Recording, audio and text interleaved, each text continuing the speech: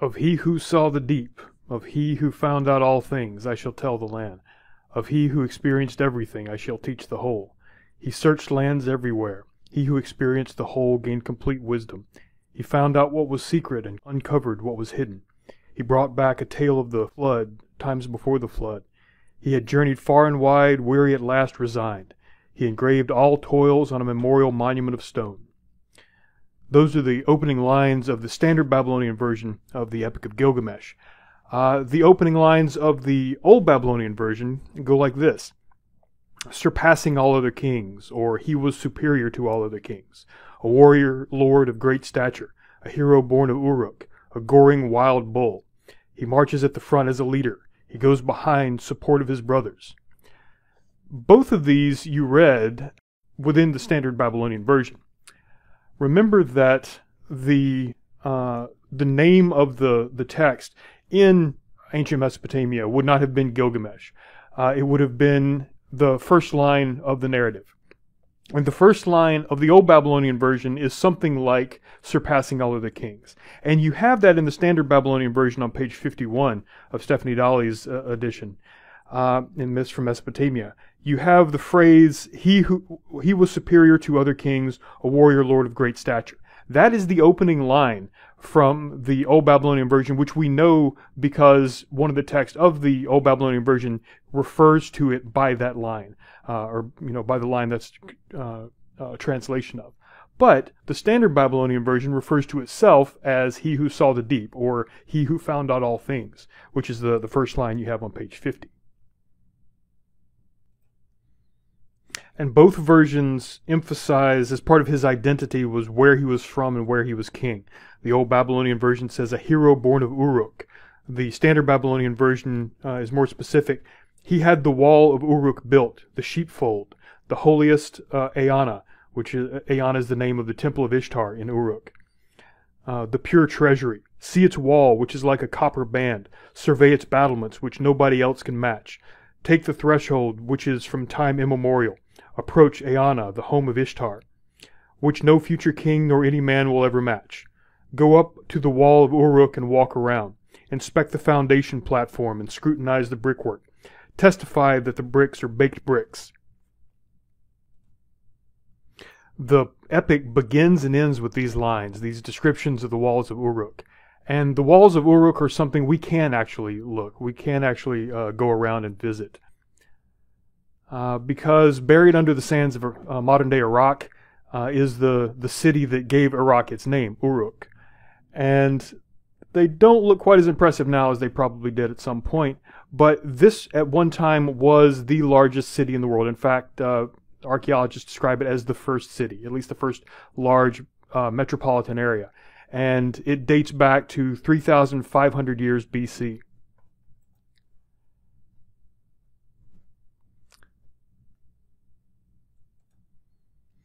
Though it's now buried underneath the Iraqi desert, uh, Uruk was once on the, the riverbanks of the Euphrates River. Uh, but as you can tell by looking at uh, a, a, larger map, uh, those rivers have changed course a lot over the years. Frequently, they change course in association with a large flood. But those walls, before they were buried, were over 20 feet high, and they were protected by battlements, uh, you know, guard towers. Uh, and the walls went uh, nearly six miles uh, around the city. not only did they uh, protect the temples and the dwelling places of the people that lived there, they also protected uh, date palm gardens uh, and clay pits. And remember how important the mud bricks are to not only building these walls, but also to making cuneiform tablets, to building works of art that we'll see throughout this presentation the walls of Uruk were not the, the first walls built around a city, but they were by far the largest walls that completely encapsulated such a large area. Uh, and the date of these walls co- coincides with the time period of a historical king whose name was Gilgamesh, who is mentioned in the ancient cuneiform documents called the Sumerian king lists. And at that time, Uruk looked something like this. Uh, this is uh, a reconstruction uh, of the the city with the temple of Eanna, the temple of Ishtar, uh, in the the foreground. And as you can see by looking at the horizon, this is a very flat country.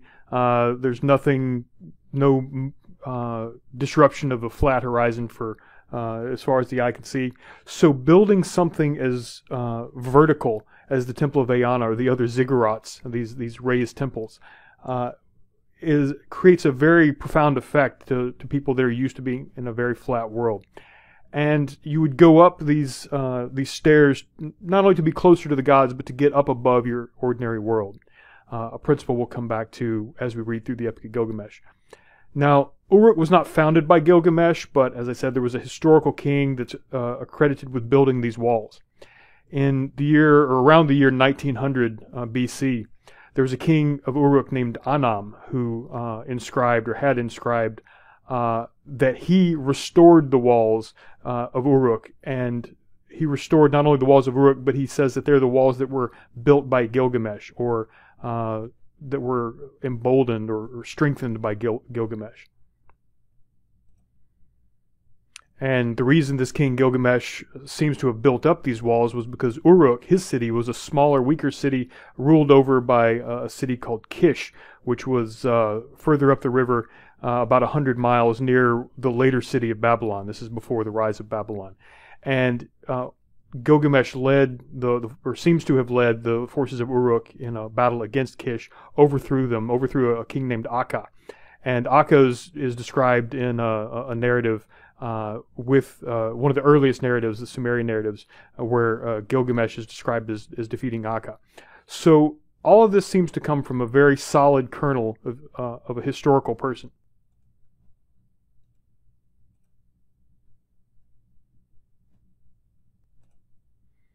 So if we take a look at our timeline here, uh, we have Sumerian dynasties ruling over Mesopotamia as, as early as 3200 uh, BC.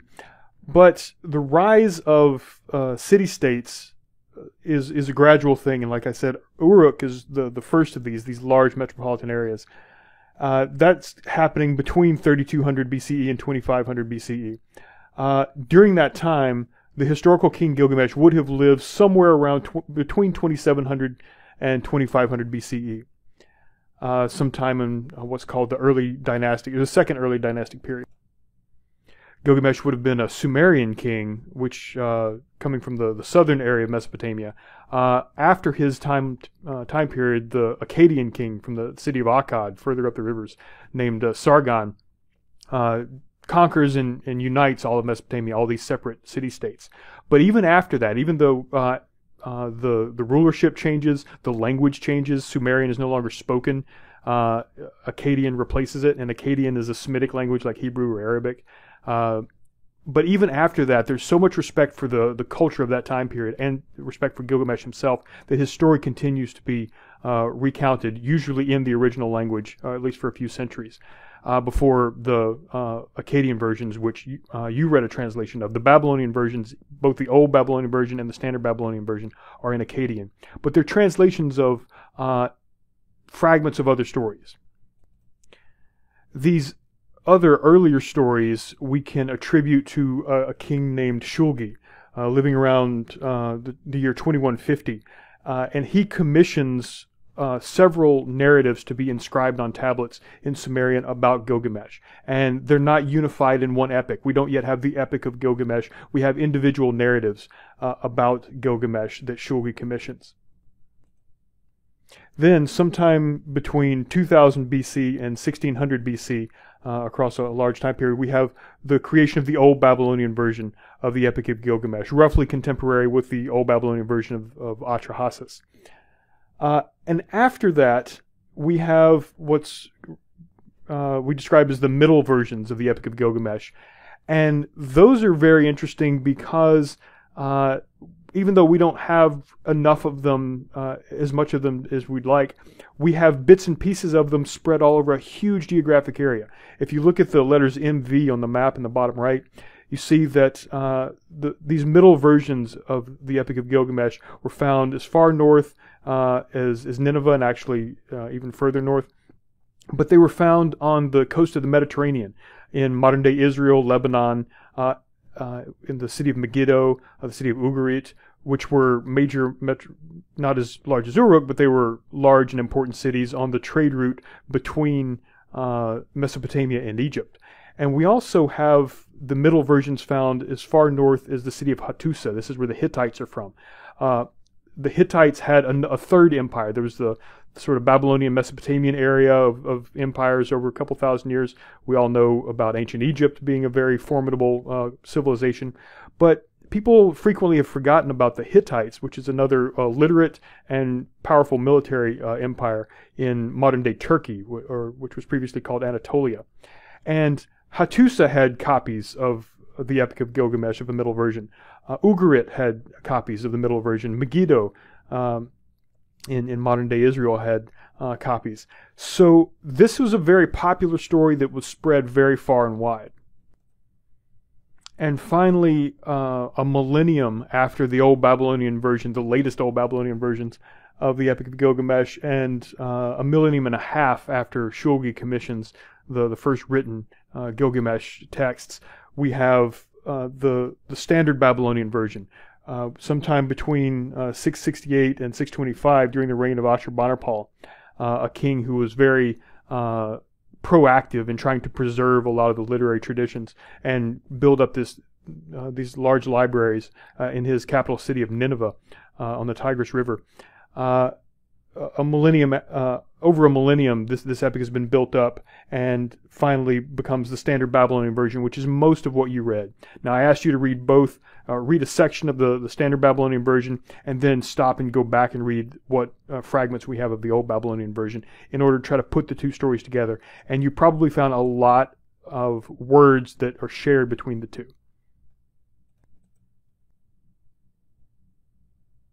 So there's a historical kernel of truth, or at least a kernel of fact. There was a historical king named Gilgamesh. There was a, a victory over this uh, city-state of, of Kish. Uh, and this uh, the, the decline of Kish seems to match the rise of Uruk in the archaeological record. But as with anything, legends as well as myths, uh, historical kernel of truth not only sort of spawns different versions, it also tends to merge with other stories uh, in the oral tradition. And the stories that were told about him, the songs that were sung about him, likely uh, preserve the, the memory of his victory over Kish, uh, his, his uh, exploits on the battlefield, his building of the walls of Uruk. But they also carried on a tradition uh, that doesn't show up quite as, as obvious in the Epic of Gilgamesh as you read it. But Gilgamesh was thought to be a, a judge in the underworld. Uh, there was this whole tradition connected with the, uh, the, the lower Mesopotamian religion that saw Gilgamesh as the sort of the Saint Peter. When you died and you went to the underworld, it would be Gilgamesh who sat in judgment over you and decided what happened to you. So we follow that through history from 2600 thereabouts uh, BC to the the standard Babylonian version during the the reign of Ashurbanipal. A lot of things have happened. A lot of uh, fragmentary stories have, have, diverged from the original historical uh, uh fact or the original historical person, and um, they've uh, sort of diverged and then they've recombined into uh, stories that may or may not be entirely recognizable to the people that lived a few centuries before them. I'll come back to this idea at the end of the uh, talking about the Epic of Gilgamesh when you'll have seen some examples of uh, fragments and, and, and, elements within the narrative that don't seem to quite fit. Uh, they won't. Uh, the, it'll be quite obvious that this wasn't a single author uh, publication like a, a, modern novel, but there are elements that are coming from somewhere else, and it's not always obvious where those where that somewhere else is. Uh, but like I said, I'll come back to that. And as you can imagine, even during a king's lifetime, his court poets, his courtiers are going to beef up his, his reputation. They're going to exaggerate his exploits. Even if he actually did have impressive exploits, they're going to describe it as if it was almost godlike. And that's while the king's alive. After the king's dead, uh, being remembered a generation, two, three, four generations later, uh, the exploits get larger and larger. Most of the the specific, uh, you know, incidents might be relatively well preserved, but the the king's prowess, strength, intelligence, and this sort of thing get exaggerated. And it's similar to what happens in mythology of the gods. And remember, Gilgamesh is uh, two thirds god. I'm not sure how you become two thirds anything, but they imagined him. They say in the epic that uh, he's two two thirds god, one third mortal, and his exploits take on this godlike uh, size and, and impressiveness. Uh, and there are works of art uh, dating back, possibly even before the reign of the historical king, that are frequently referred to as Gilgamesh figures. So on the, the top right here, uh, this is a, an impression from a cylinder seal, uh, and a, the cylinder, the, the actual artifact is the this uh, round cylinder on the uh, in the middle, and you use it to roll over wet clay, and it creates the image. And there's this figure you see fighting lions. Frequently, you'll see uh, other uh, cylinder seals like this. He's fighting bulls. He's fighting antelopes. he's fighting these monster-like creatures. But you see those six curls, uh, three on either side of his head. Uh, that seems to indicate, uh, or that common image uh, is associated with all of these.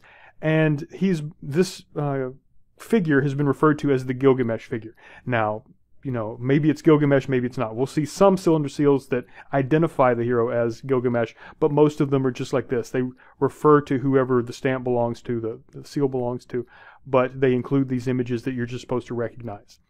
Uh, but from the, the lifetime of the historical king Gilgamesh all the way down to the time of Ashurbanipal when the standard Babylonian version of Gilgamesh was written, uh, we have uh, the statue on the, the top left that's currently in the Louvre Museum in Paris. Uh, of this gigantic uh, human figure that's holding a lion, just to sort of show you the size. This, if you imagine the the actual size of a lion and um, how big this, this human being would be. Uh, I believe the, the statue itself, you can stand under it and it's at least 10 feet tall. Uh, it's about twice my size. So obviously, even if there was a historical Gilgamesh, there wasn't necessarily a historical Humbaba or historical Bull of Heaven that uh, Gilgamesh and Enkidu had to fight. And in that regard, he's somewhat like a god, but he's also uh, in the description, but also in the evolution of his story, something like a modern comic book character. So let's take the example of the the current uh, Marvel Cinematic Universe uh, incarnation of the god Thor, played by Chris Hemsworth. Uh, Thor, the name, the the fact that he carries a hammer, and all this uh, supposedly derives from Norse mythology, and you know a kernel of it does. They're uh, going back at least a, a thousand years. Uh, we have records of stories about a god of thunder who carries this this you know thunder hammer called Mjolnir well, that representation changes uh, over the thousand years uh, for which we have uh, art representing him. Uh, it starts off, or at least the, the, earliest we have, is something like the figure on the left. Uh, and that looks very different than this conception that um, the the painters and uh, artists of the, the 19th century had in their heads when they represented him as sort of like one of themselves, a, a larger, fiercer, stronger version of a 19th century man except you know dressed in animal skins and that sort of thing. Uh, well, there's an element of that. There's uh, the the current MCU version of Thor kind of follows in that tradition. He also follows in the Superman tradition. He's a comic book figure, and Marvel was notorious for sort of ripping off DC uh, figures. Um, and he's got the red cape like Superman. He flies through the air like Superman. The the original Thor did not fly through the air. There's it's kind of oddly described that his his chariot can can go through the the, the sky, but his hammer didn't fly and he didn't fly. Uh, these are things that the schemas come from the the DC uh, comics uh, Superman that's been around since 1939. So Superman didn't have anything to do with the Norse god Thor, but we can see with the Marvel version of Thor these uh, this, this, confluence, this uh, coming together of two uh, schemas and you know potentially two scripts the the schemas of the the cape and the flying is a Superman schema. The schema of the the the hammer and the the reference to the Norse gods is the the Norse schema. This is the same thing that is happening with Gilgamesh. Uh, there's the historical king. There's uh, stories about this judge in the underworld. There are these figures of these uh, these heroes that roam around the countryside fighting lions and bulls and that sort of thing. And these things all seem to merge. And once uh, they become a written text, that becomes a, a, redaction. And we also have a historical place to, to start this. Um, there was a, a, king named Shulgi who lived between uh, uh, 2094 BC and 2047 BC. Shulgi was the king of Ur, just down the river. uh, from Uruk, but he was very much uh, enamored of this, you know, ancient, uh, possibly ancestor. He claimed to be descended from Gilgamesh, and he described Gilgamesh as like, like a brother uh, to him. And he wanted to model his kingship on Gilgamesh as he understood him from these stories. And in order to make that connection, one of the things he did was become basically the first uh, patron of, of literature. He sponsored uh, scribes. He had scribes uh, write down these oral stories. But of course, not all the oral, stories match. There's a lot of uh, uh, contradictions between one story and another. And you have to make a decision when there's that sort of contradiction. You have to decide, do I try to fit them together and just sort of leave out the part that I think is you know, doesn't fit? Or do I need to include everything? Uh, and this is what you had to deal with when you uh, read Atrahasis, because Stephanie Dalley gives us everything from these fragments. She doesn't leave out the part about the Serupu disease in the second uh, fragment. You have to figure out that, oh, well, there's this version and there's this version. Uh, there's one version in which Anu uh, takes the side of the Igigi and says, yes, their, their plight was too hard. Then there's another version in which uh, Enki or Ea takes the side of the Igigi and says the exact same words. Do you leave out one or the other, or do you include both of them? Shulgi seems to have decided it's better to include everything. He says when he commissions these different Gilgamesh narratives to be written down, not the Epic of Gilgamesh, remember, uh, that comes later, but these individual Gilgamesh narratives, uh, he commissions them to, to be written down uh, on cuneiform or in cuneiform on clay tablets. And he says, quote, I am no fool as regards the knowledge acquired since the time that heaven above set mankind on its path. When I have discovered hymns from past days, old ones from ancient times, I have never declared them to be false, and I have never contradicted their contents. I have conserved these antiquities, never abandoning them, abandoning them to oblivion. So as we learn from the War of the Ghosts example, stories can change when they're uh, recalled, but you also see this desire to have the story retold in the same narrative, the same way, because you don't know where it came from. It, it came from this uh, divine wisdom, and you don't want to change that. So redaction becomes a difficult process, um, but a process in which you include the contradictions uh, instead of trying to decide yourself what do I leave out. And because we have all these contradicting uh, versions, uh, we end up in the situation that Stephanie Dalley describes in your introduction to uh, her edition of Gilgamesh. She says, Our interest lies not only in the story and its characters, but also in the unique opportunity the epic provides for tracing earlier independent folk tales, which were combined in the creation of the whole work. And we can see how the whole work in written form never became fossilized, but was constantly altered through contact with a continuing oral narrative tradition. And we might think, I can go back and find an Ur text and find the story. But no, she says, a new fragment uh, may perplex us rather than elucidating an old problem. In fact, the more text fragments come to light, the harder it becomes to produce the one coherent edition.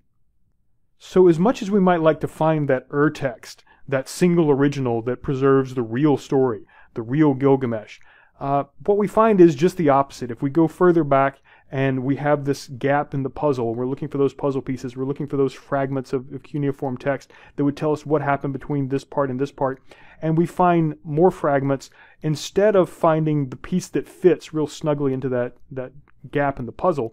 Instead, we find more pieces and we don't know where to put them. They contradict the, the pieces we already have. They seem to be doublets. Uh, remember that term. A doublet is retelling the same story but in a different narrative, sometimes with contradictions.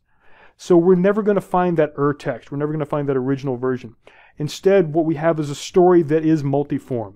Uh, and I'm going to use that that term the way folklore researchers use it, uh, which is to describe not just uh, not not as an adjective that describes the story, but I, the story is a multiform. It is an, I'm going to use it as a noun, which uh, means there's not the one version, but there's all the versions together as if they were this sort of toolbox or this uh, puzzle set that has pieces from lots of different puzzles. But any individual narrator, any individual poet, any individual uh, scribe who writes it down on cuneiform uh, who creates one iteration, one one version of that uh, in narrative form. Uh, that scribe or that singer has this multiform um, box full of pieces to choose from. And he or she is only going to choose some of those pieces. But we, as scholars, when we read this, have to go back and think, uh, what else is being left out? Is it being left out intentionally? Is it something that has been forgotten at this point in history? Uh, or is it something that just uh, doesn't fit with this uh, particular iteration's uh, themes and what this particular uh, scribe or redactor finds most important? Because despite Shulgi's best uh, efforts and best intentions, you can't tell a story without leaving things out. You can't tell a story without making, you can't create one iteration in narrative form without making some executive decisions. And if it wasn't for that, we wouldn't have the sort of unified or mostly unified whole that we have in the Epic of Gilgamesh. So notice um, we shift in the old Babylonian version to call it the, the Epic of Gilgamesh rather than just these independent Gilgamesh narratives. And to understand what we mean by that, we have to define the word epic. And you may have had uh, a definition or two. You may have learned some of these characteristics in high school English class. But an epic, for our purposes, is going to connect to a form as it was described by the ancient Greeks, you know, uh, a century after, at least a century after the the latest version, the standard Babylonian version of Gilgamesh, and thousands of years after uh, the oldest versions. Uh, so we're, in, to some extent, uh, imposing a, a, a historically uh, non-historical context, a, a, schema of what a story should be, or a script about uh, that, that, should shape this data that doesn't belong. And the Greeks who came up with this definition will be the first to tell us that. But we have to at least be aware that we're doing it. So, epic, as we're going to define it, and we're going to read three more epics in here, uh, depending on how you define them, maybe more than three. But it's going to have some of these characteristics. The standard definition of epic is it's a long narrative poem. In other words, it tells a story in, as a narrative, but it's also a poem. Uh, it also uh, you know pays close attention to the, the scansion, the order of the words, and the rhythm. Uh, it's like a song. Uh, it doesn't just tell a story, but it tells a story in poetic form. And it's written in an elevated style, which means it's not the way people talk every day. It's it's something that sounds very artistic. If you heard somebody speaking, uh, you know, in a particular, if you heard somebody speaking in uh, King James English or Shakespearean English, you would know that that person's not just having a conversation. That person is actually reciting literature. So an epic would be written in an elevated style it would be presenting characters of high social rank and national importance. This is very important because we're going to come across a narrative much later on that, that defies this tradition. But for the most part, it's going to have a character from the nobility, an aristocrat, maybe a king, maybe somebody who's a part of the royal family. Almost never, eh, we almost never have mentioned people who were not royalty or, or nobility. And they're going to be in adventures forming an organic whole through their relationship to a central heroic figure and through the, their developments of episodes important to the history of a nation or a people. So it's not just a, an independent story that you know people uh, wouldn't have cared about at the time. It's something that uh, the actions of this one person uh, are going to cause an, an, entire people, a nation, not in the sense of a nation state, but a nation is in a group of people with a common culture and common language and common identity, uh, are going to rise or fall based on the actions of this one hero. Now, secondary characteristics uh, typically the, the hero is of is of imposing physical ability and stature. So like Gilgamesh, if he's large enough to pick up a lion like it's a cat, uh, then this is someone who's clearly imposing uh, physically. Uh, it's also uh, a hero of national importance or international importance, as we saw. Uh, Gilgamesh is remembered in Uruk for uh, you know more than a thousand years, but he's also remembered in these other city-states, which are different, have different national identities uh, and he's of historical or legendary significance as the founder of a nation. So Uruk wasn't founded by Gilgamesh, but Gilgamesh built the wall, and he was their most famous king. Uh, another characteristic is there tends to be a, a, journey over a wide geographic setting, sometimes to another world, to a supernatural realm, to the underworld, to heaven, or, or something like that. Uh, there's an action consisting of great deeds and overcoming great conflict. Uh, as I mentioned earlier, every narrative is going to have some sort of conflict, but the level, the the physical conflict, the the fact that Gilgamesh isn't just up against uh, large monsters, he's up against the gods. Uh, that is about as big a conflict as you're going to get, and uh, because there are gods and monsters, uh, there are supernatural forces that are involved in that action. That's another secondary characteristic. Now, not everything we call an epic is going to have all these characteristics, and Gilgamesh may or may not have every single one of them, but uh, these are enough. There is a sort of, uh, you, you, get enough checks on the checklist, and it, people tend to describe it as an epic. And we definitely have this, you know, thousand years, more than a thousand years of individual narratives being redacted in and placed into a form, into a schema of what a story should look like, uh, according to the people of uh, of subsequent generations. And it starts to resemble the the expectations of narrative we still have today. It has a beginning, a middle, and end. It has a, a protagonist overcoming conflict in order to achieve a resolution uh, uh in the end. But notice, even though it's very familiar, uh, that form uh, of a story, that narrativization, it also plays with our expectations and it doesn't give us exactly what we expect, especially in the end. But for the beginning, we have something that is still a staple of, of storytelling, uh, from, from literature to Hollywood movies. And that is, we start with a character exposition. Uh, character exposition is the first time we see a character described in the narrative, and this character exposition is never random. It's never just doing an activity that is not relevant to the rest of the story. Uh, in this case, we have Gilgamesh described as a tyrannical king. He doesn't seem like the protagonist. At least he doesn't seem like a good guy. He doesn't seem like a guy we're going to empathize with. He's described in terms that sound at once like praise, but also uh, are, are, very critical. Uh, the narrator tells us on page 52 he had no rival at his puku, and the, your note tells you that puku is this sort of uh, field uh, sport, this uh, uh, athletic competition. Uh, his weapons would rise up, his comrades have to rise up.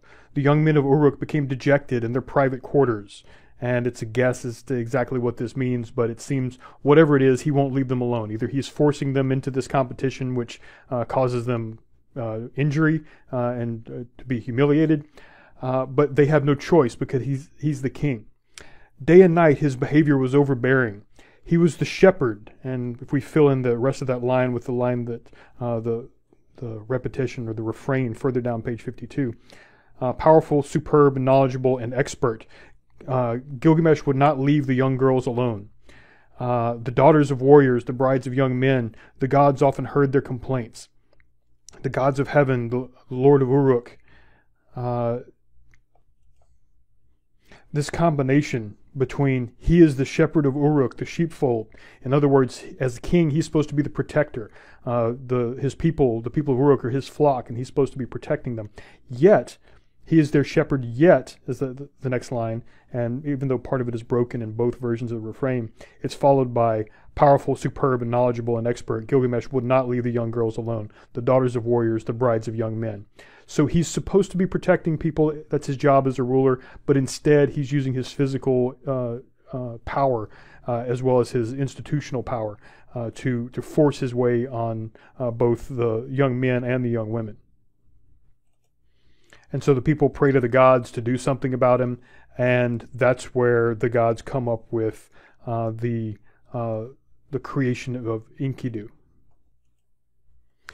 Enkidu introduces for Gilgamesh the conflict that's going to be uh, that's going to change him as an individual, and it may have seemed like Gilgamesh was more of an antagonist than a protagonist up to this point, but if we look at him over the entire uh, epic, over the entire uh, narrative, we see that uh, he goes through this this huge change. And the first change is introduced very quickly. He goes from being this tyrant to uh, to being a, a, hero in search of a quest.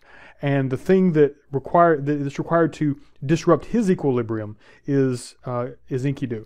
And remember that in narrativization, there's a state of equilibrium at the beginning, and something throws that into uh, into turmoil, and that has to be overcome.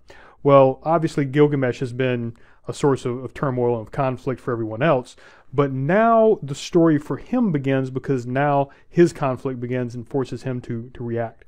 So this begins what's going to be his character arc. A character arc uh, is the change a character uh, goes through from the beginning of a narrative to the end. And uh, that change is only going to be brought about if, if the normal world is, is thrown into disarray and that character has to do something about it and grow from it. Um, but how exactly does this work? Well, it involves Enkidu. Now, who is Enkidu? Uh, is another character that uh, has his own character arc within this narrative, uh, but he also has uh, apparently a backstory uh, outside of the narrative. Uh, there are these figures that go back, uh, you know, a thousand years before the Standard Babylonian version of, of Gilgamesh that include this figure that has become referred to as the Enkidu figure or the Ea Bani figure, uh, another translation of his name, both of which involve the name of the god Enki or Ea, even though the, the Epic of Gilgamesh doesn't tell us anything about a connection between Enkidu, um, between Enkidu and Enki, or Ea Bani and Ea. But there's this figure of this human-like uh, or bull-like human that either has horns or has the the lower quarters of a, of a bull, uh, but is doing like the Gilgamesh figure on these cylinders. Uh, he's fighting lions. He's uh, sort of you know hugging uh, in this uh, this image on the top right. Uh, he's he's fraternizing with with the animals. He's the sort of lord of the animals, or at least the the, the herbivores, the ungulates, the the antelope, the bulls, and that sort of thing. He's fighting against lions. He's protecting them from lions. So he's a, a, man of the wilderness, but not a hunter. He's the one that causes trouble for the hunter. In fact, that's what we see him first doing on page 53 when uh, this young hunter has you know traps to try to, to kill animals, uh, and Enkidu keeps disarming these traps, and this, this young hunter can't do anything because it's too fearsome uh, uh an opponent to, to directly uh, confront. But it's ambiguous whether or how Enkidu is imagined in the Epic of Gilgamesh itself this figure of this uh, you know half bull, half human might be the the forerunner of Enkidu. He might not be. Uh, there's there's a lot of, of gaps in, in that interpretation, but this is one way to imagine him, especially when he's described as losing his legs when he becomes more civilized. The legs may be this the, the legs you see in the in the figure in the top left and the figure in the the bottom, uh, where he's the upper half human, but he has the, the back legs of a, of a bull. Uh, this image on the top right, he looks like a normal human, although clearly his, he's sort of fraternizing these human-faced bulls. But that image comes from the, the Queen's lyre, the Queen's harp that I introduced in a previous lecture. Uh, if you'll notice, if you can see it's not quite big enough, but there are these images on the very front and there, there are other images on the back of this, this harp. So if this harp is being used to tell stories, now being used to sing uh, epics, to sing narratives, then it makes sense that the images on the front and back uh, of it that, that, decorate it are from prominent stories that people would be hearing uh, sung to them while the, the, the, singer played this harp. But this is one of those. There is this image of this, this figure that uh, seems to be an Enkidu figure. Now, these other two images of uh, Enkidu with the, the features of a bull, the reason that tends to be associated with Enkidu is because it usually is in conjunction with that uh, Gilgamesh figure. So we have some more cylinder seals here, uh, both of which date back to around you know 2200 uh, BC. And we'll have one entirely human figure, the Gilgamesh figure, with the three curls on either side of his head, and we have the the bull man, uh, Enkidu, uh, or the Enkidu figure and they're usually fighting lions or they're fighting, uh, in the case on the bottom, a, water buffalo. Uh, later, we'll see them uh, fighting the, the, the bull of heaven uh, that, that, shows up in the narrative later. So it seems that if this isn't a Gilgamesh figure and not an Enkidu figure, then at least this story, whatever it seems to represent, uh, merges later with Gilgamesh and Enkidu as these two uh, almost you know superhuman uh, warrior uh, hunter figures that go out and uh, pass the time by fighting with lions and bulls and that sort of thing. The kind of thing that larger than life heroes do. Now, right at the beginning, he's described as a skybolt of Anu, or sorry, skybolt of Nin- uh, Ninurta. And your note, uh, note 10 on page 53, uh, if you follow that, the, the editor, Stephanie Dalley, tells you that that term could mean like a meteor, uh, you know, this uh, this meteor thrown across the sky. Um, but it also has these connotations that make us question the relationship between Gilgamesh and Enkidu. The word for the skybolt or the meteor is Kisru, and it sounds a lot like Kesru, which is the uh, Sumerian or the uh, Akkadian term for a male prostitute. And he's also described as an axe, uh, Hasinu, and there seems to be a play on words with the word asinu, which is a eunuch, a, a male who's been uh, castrated, and took the, the female role in sexual rituals at Ishtar's temple. So this makes us uh, look at the relationship between Gilgamesh and Enkidu as a potentially sexual relationship, although obviously uh, we've already uh, read that Gilgamesh was a sexual threat, a sexual predator toward uh, the young women of uh, of Uruk. And later we're going to read about uh, the, the, the sacred prostitute uh, Shamhat and the fact that they made love for seven days and six nights. So even if there is this implication of a sexual relationship between the two, again, it doesn't fit our modern uh, schemas about uh, either homosexuality or heterosexuality. Uh, it seems to just be hypersexuality in, in both of their cases. And the role of sexuality generally in this narrative and in these other uh, contributing narratives uh, also doesn't resemble our, our modern schema. So, why was Shamhat sent out to Enkidu? Why was this Gilgamesh's solution? uh, it seemed that part of his plan all along uh, was this knowledge that uh, having this sexual relationship with Shamhat would civilize him, would turn him from this this wild man into this civilized man. And it does. It doesn't all happen immediately, but this begins Enkidu's transition uh, and potentially the conflict. At least he's going to, you know, curse her later for for bringing him into civilization.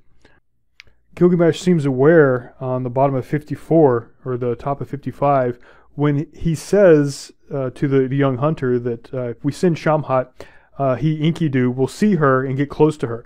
Then his cattle, who have grown grown up in open country with him, will become alien to him. And so she goes and presents herself to Enkidu out in the wilderness. And when he was sated with her charms, he set his face toward open country of his cattle. In other words, he's uh, after a week of uh, lovemaking, he's gotten all he wants and he thinks he's going to turn around and go home.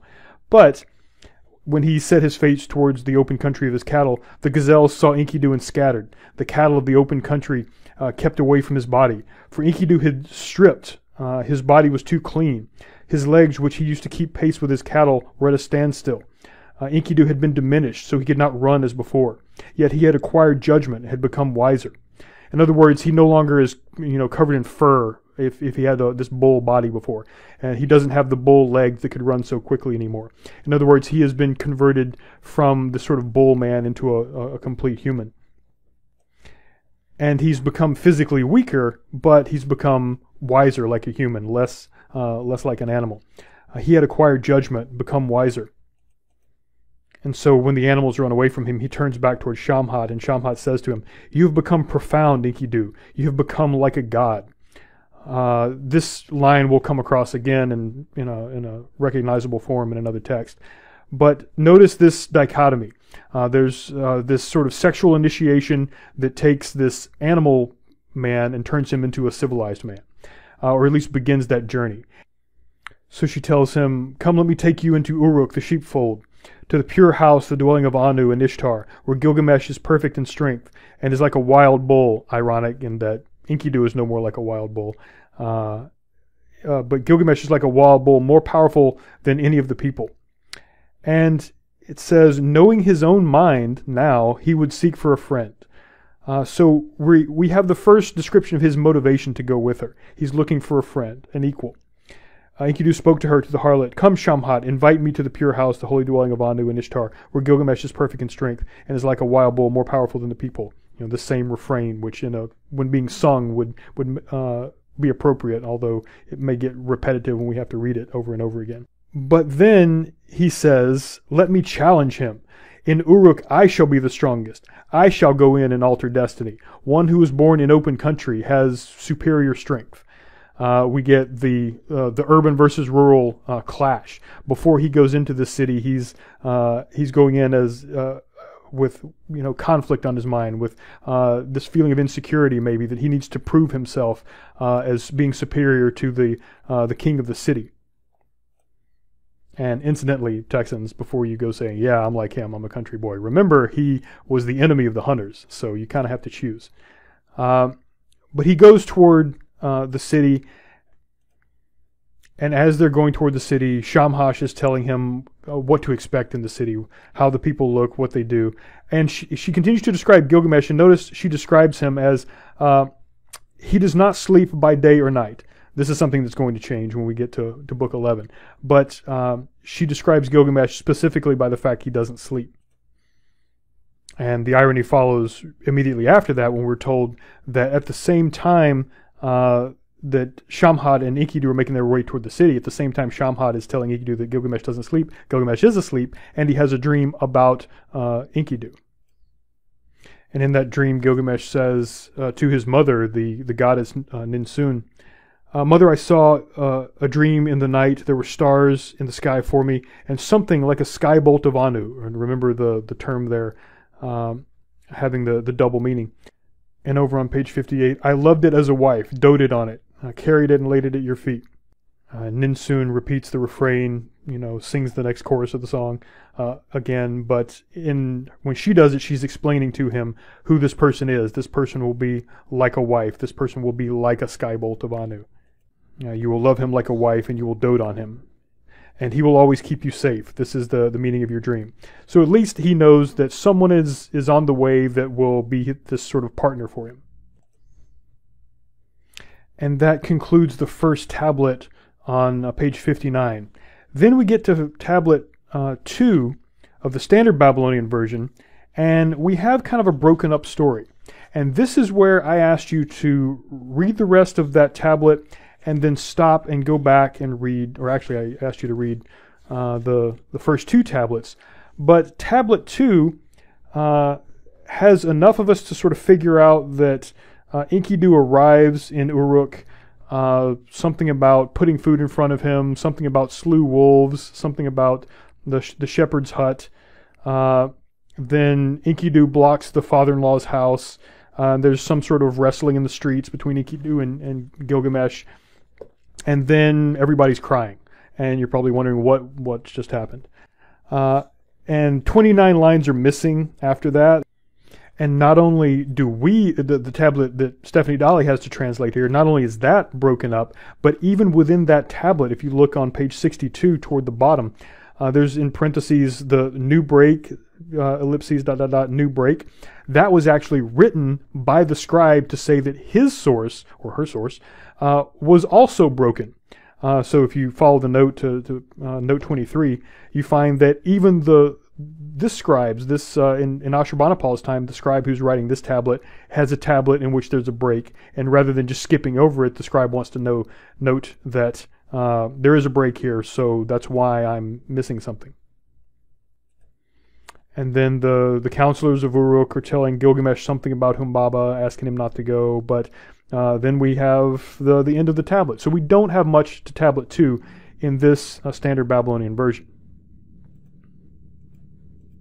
And that's why your assignment was to read the first two tablets, uh, pages 50 to 61, and then go back to uh, the Old Babylonian version, in which uh, re- you read tablet 1 through 3, but your tablet 2 is a little bit more substantive.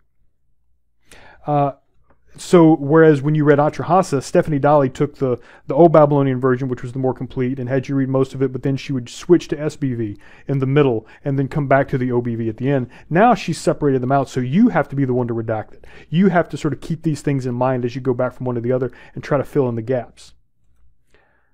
So what you're doing is comparing the standard Babylonian version, uh, which in this one tablet is less complete. Normally it's much more complete than the old Babylonian version, but in this case, uh, the, the tablet you see on the left uh, is actually two sides of the same tablet uh, that I've just uh, flipped over.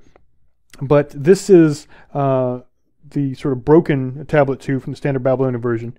Uh, that dates from around 600 BCE, and on the right you have the older one, the thousand years older, actually, you know, maybe 1400 years older, and that's the what's called the Philadelphia tablet.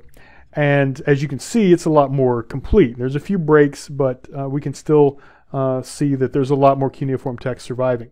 And so what you have to do is actually uh, take the two together, at least the translations of the two, and try to make them make more sense.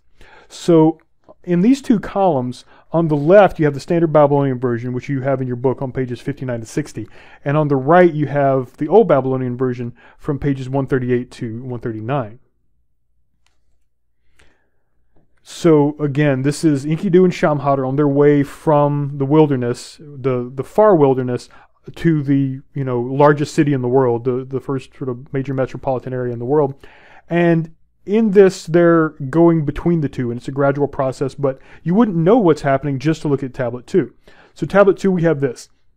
Enkidu was seated before her in Turanu, something about tears, trusted someone, why, something. They were consulting together by themselves at his decision, who understood his heart, which Shamhat, something, something about a garment, something about a second garment. Uh, but if you take that those uh, references to a garment and a second garment, and you flip over to 138, you see, uh, oh, okay, she took off her garments and clothed him, clothed Enkidu, in a second garment, took his hand like a goddess, led him to the shepherd's hut, which was uh, w- which there was a, a sheep pen. And then while they're at the shepherd's hut, uh, keep in mind this is halfway between the wilderness and the city. We're in the, the rural area, the farming, the agricultural, the pastoral area, where uh, there are shepherds and they're not in you know clay brick buildings yet, but they're in a hut. So he's halfway from the, between the wilderness and the civilization. And the shepherds gather over him, but then, of course, we have a gap of four or five lines in the old Babylonian version. But now we can switch back over. We take that, uh, that line, the shepherds gathered over him, and we see the same line in the standard Babylonian version. So we use that to fill in the old Babylonian version. Okay, the shepherds gathered over him of their own accord and by themselves, the young men, how like Gilgamesh in, in build, uh, sorry, the, the the shepherds were saying, The young man, how like Gilgamesh in build, mature in build, and sturdy as battlements, as, as sturdy as a tower, as a fortress. Uh, why was he born in the mountains? He is just as powerful in strength and his arms as the skybolt of Anu. So they're gathering around him. This is what Gilgamesh foresaw in his dream that we just saw uh, from uh, tablet uh, uh, 1. Uh, they're gathering around him and admiring how big a guy he is and how you know formidable he appears to be. Uh, and so they put food in front of him, they put drink in front of him, but he's still a little bit wild. He hasn't made that transition yet, so he would not eat the food. He narrowed his eyes and stared. In other words, he looks at it and thinks, "This isn't food." Remember, he's been eating grass. Uh, he's been drinking directly from uh, the rivers and streams. So this doesn't this is, doesn't fit his idea of food. This is baked bread, uh, which we know if, if we flip back over to the old Babylonian version. Uh, so he used to suck the milk of wild animals. They put food in front of him. He narrowed his eyes, looked, and stared. Enkidu knew nothing of eating uh, bread or drinking beer. So, beer, civilization. Bread, civilization. You can't uh, find beer or bread, uh, you know, uh, out in the in the wilderness. This takes some uh, coordinated human effort. This takes infrastructure. Uh, this takes a you know a community of people with various expertise in various things in order to uh, grow the the wheat, uh, harvest the wheat, uh, mill the wheat, bake the the the flour. So. Uh, this is sort of step by step towards civilization, and the first thing is what he is regards as food, what fits his schema.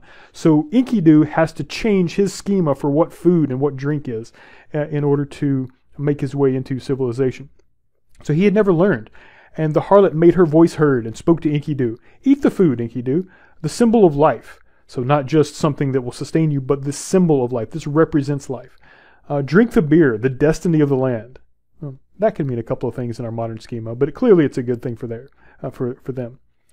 Enkidu ate the bread until he had had enough. He drank the beer, seven whole jars. He's off to a good start. Relaxed, felt joyful. His heart rejoiced. His face beamed. He smeared himself with something. Um, uh, his body was hairy. He anointed himself with oil. It became like any man. Put on clothes.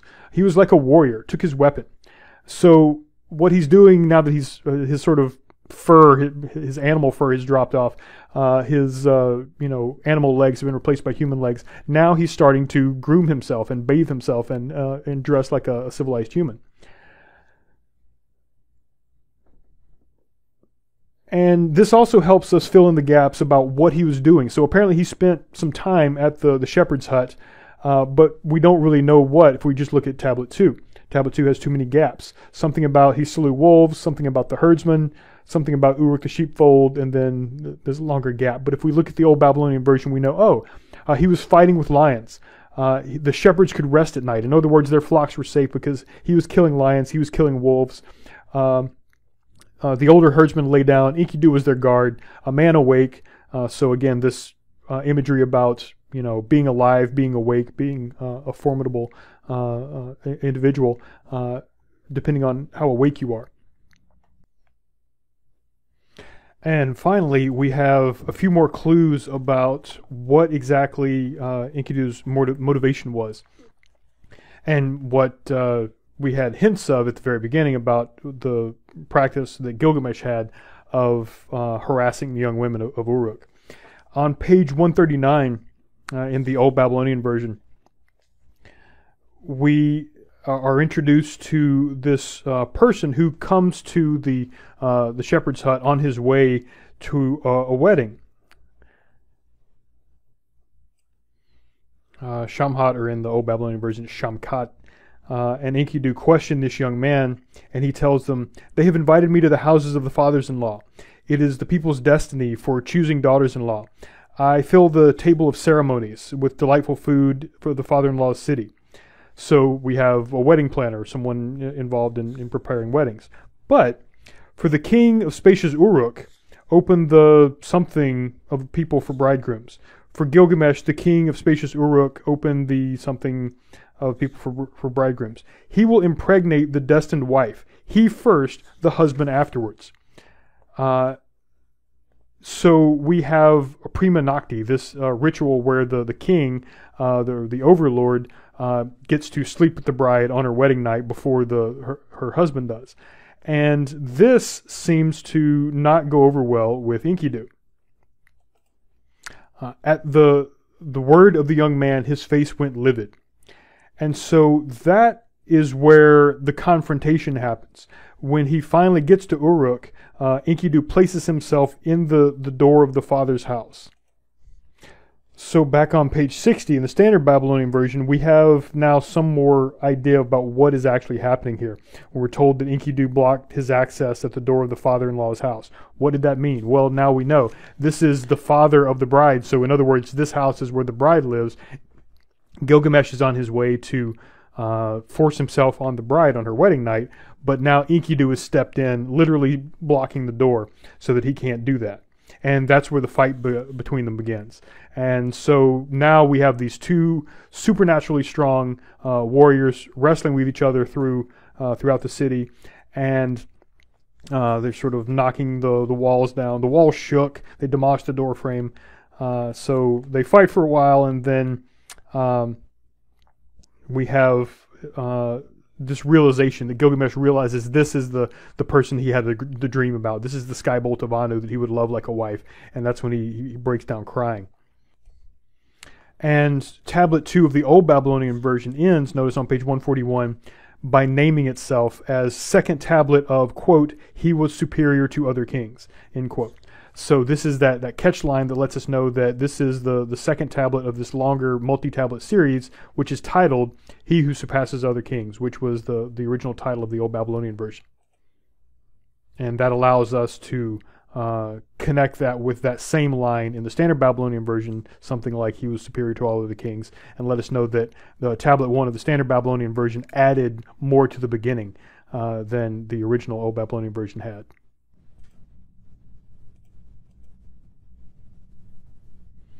So now the two sort of co-heroes are are united. They're uh, they're no longer in opposition, and more importantly, now Gilgamesh can focus his attention on doing something other than harassing his people.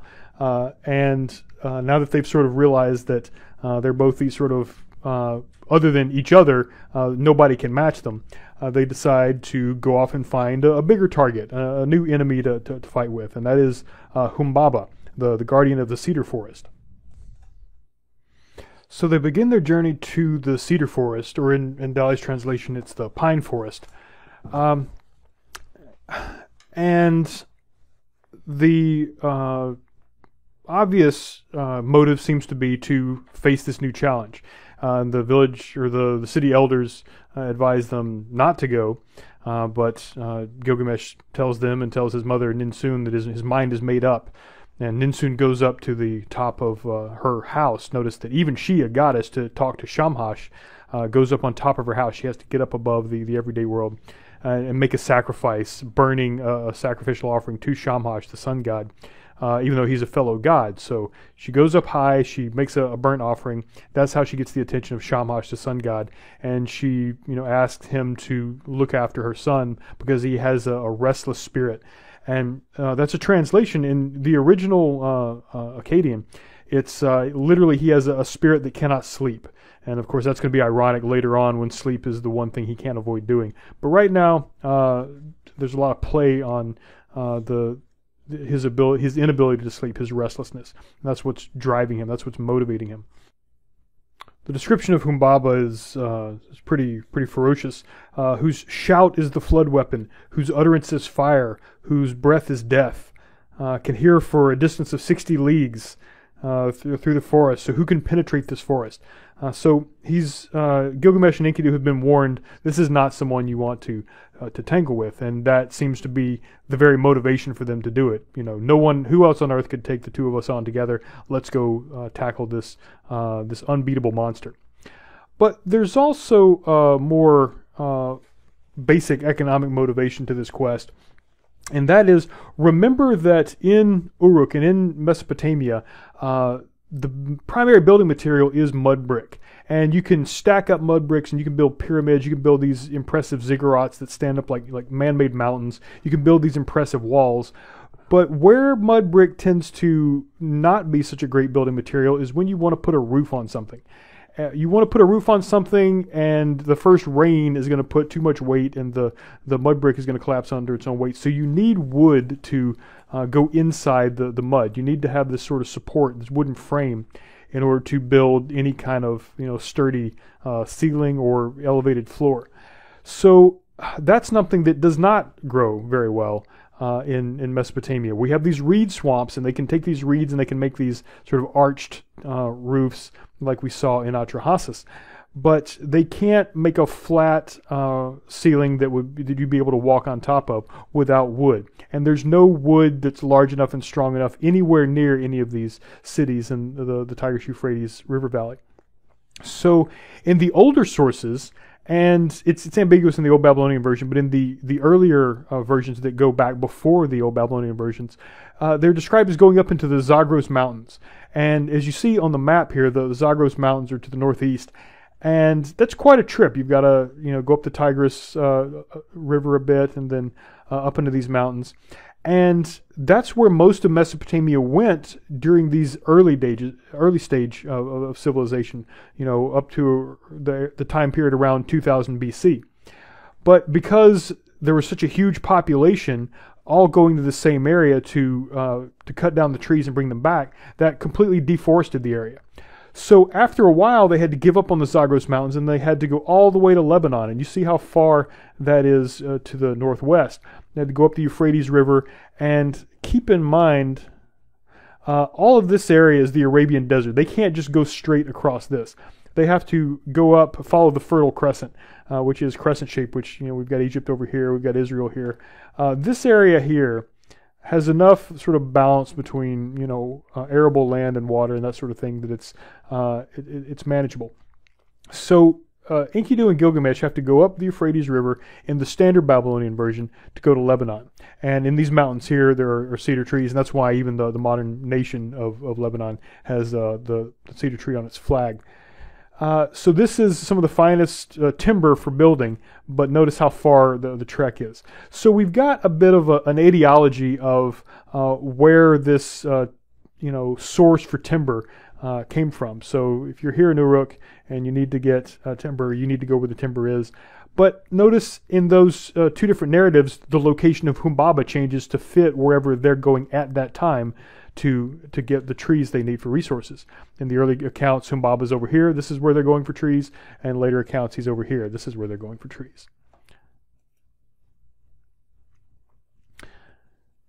Now, who is Humbaba? Now, clearly, this is the archetypal monster.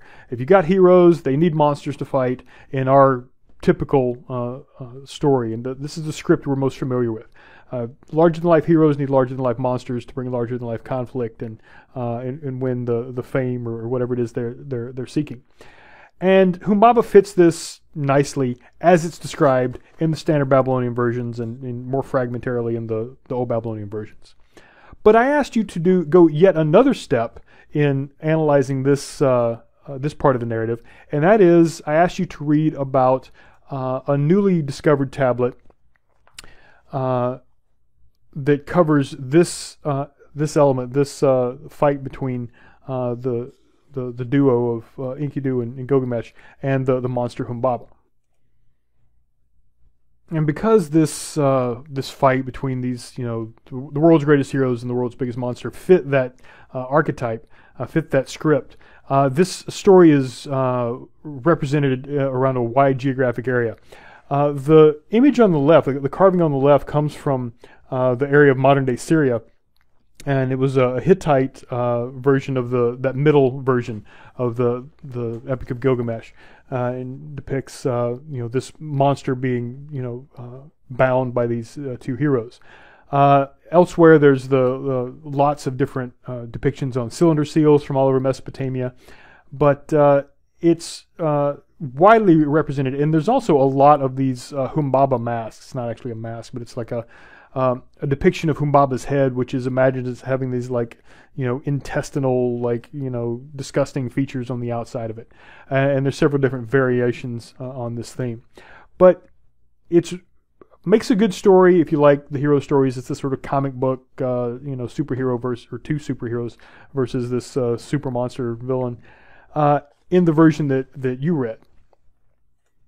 And that's the way it was interpreted for the last uh, century of uh, people studying Gilgamesh and uh, studying in particular this uh, this episode. But just a few years ago, we had a translation of a, a tablet that, that you know had been sort of uh, took a while to, to, catch up with the rest of this narrative, and that actually fills in some of the gaps that we didn't even expect uh, were there. The, the kinds of things that we did not expect. The, the kind of new tablet that Stephanie Dalley mentioned that doesn't actually fill in a gap we expected. It actually opens up a, a bunch of new questions. And that is the, the, the, the tablet I asked you to, to read, uh, uh, the translation and a description of the, the, discovery of this tablet.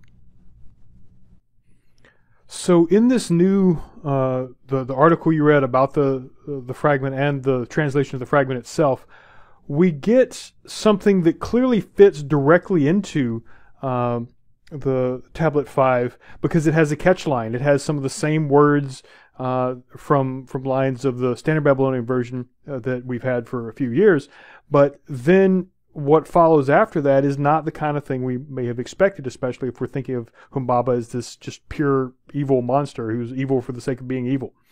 Uh, instead, we get indications that uh, he's this sort of lord of the uh, uh, of animals, very similar to, to Enkidu, uh, a protector of animals. He's been placed there by Ellil or Enlil uh, to guard the cedar forest, not just the, the resources uh, of the cedar trees, but also this whole kingdom, this natural world that's there.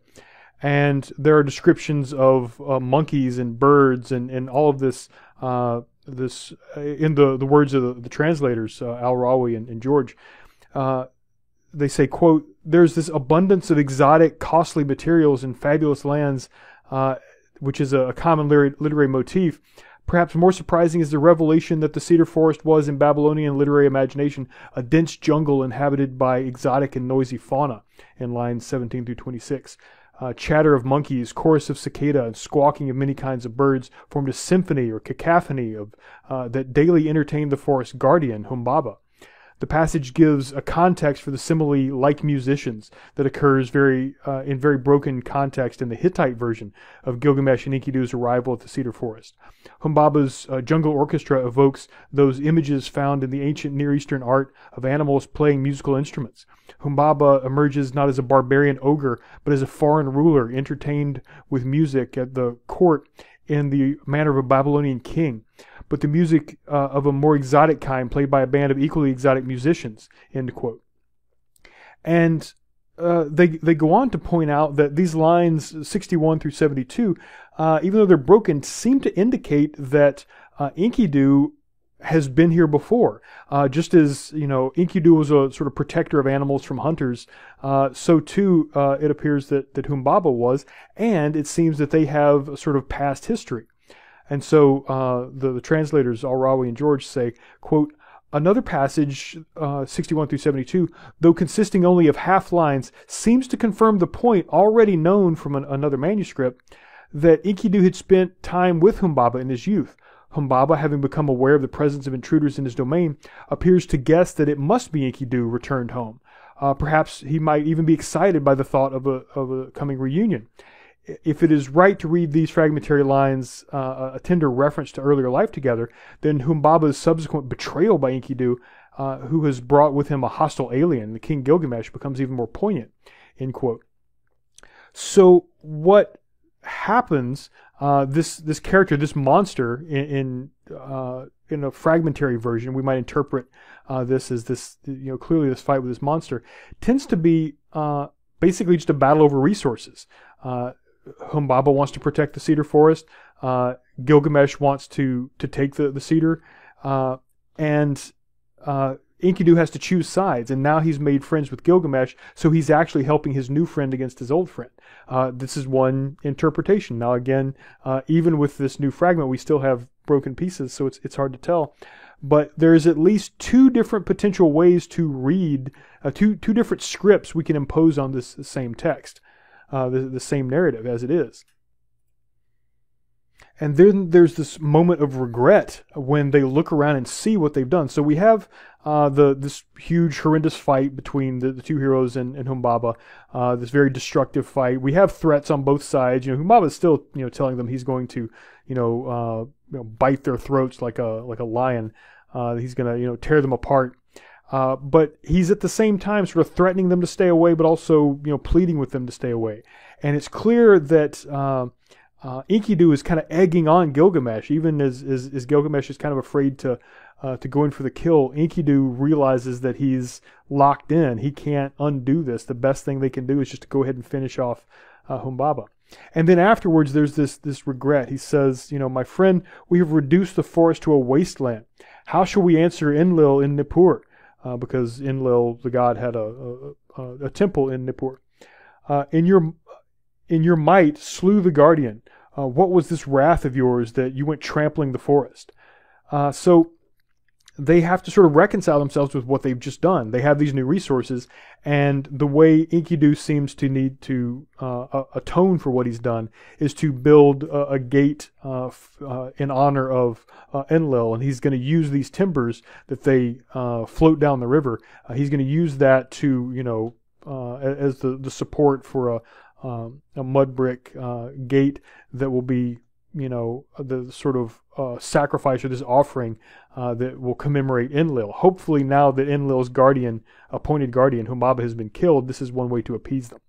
But as we're going to see, there are going to be a lot of consequences of this, both in the, the action itself, killing Humbaba, but also in the sort of uh, place this takes uh, Enkidu and Gilgamesh, uh, the place it takes their egos.